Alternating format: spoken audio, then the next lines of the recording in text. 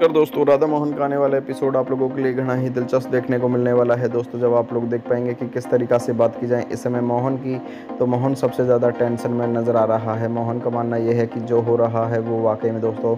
बेहद ज़्यादा गलत होता हुआ नज़र आ रहा है। आप लोगों को बता देना चाहता हूँ कि इस समय मोहन बोलता हुआ नज़र आएगा कि मेरे सपने में ये दिखा है कि इस समय राधा के ऊपर अटैक किया गया है और अटैक करने वाली शख्स कोई और नहीं है बल्कि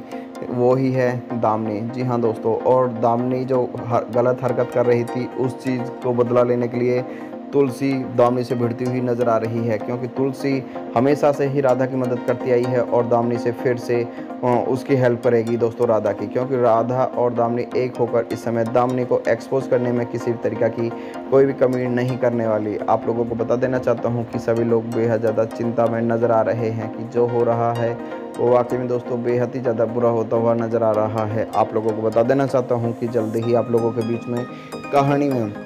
एक बार फिर से नया टूस्ट देखने को मिलेगा। बात की जाए इस समय मोहन की तो मोहन सबसे ज़्यादा इसलिए परेशान नज़र आ रहे हैं कि राधा सेफ़ नहीं है दामनी के रहते हुए, क्योंकि दामनी ने पहले भी राधा के ऊपर काफ़ी अटैक किए हैं, लेकिन इस बार मोहन की माँ बोलती हुई नज़र आने वाली मोहन से कि मोहन, हमको कुछ करना पड़ेगा, क्योंकि हो सकता है कि ये राधा को किसी भी समय मारने की फिर से प्लानिंग करें, क्योंकि ऐसा भी हो सकता है कि कुछ जहर दे दें, क्योंकि इस समय दामनी कितनी ज़्यादा गिर सकती है, वो सभी लोग जानते ही हैं। कि दामनी हमेशा से ही अपना पैतरा अलग ही अलग तरीक़ा से अजमाती हुई नज़र आई है और ये सभी लोगों ने आज से नहीं, बल्कि बहुत पहले से देखा भी है दोस्तों।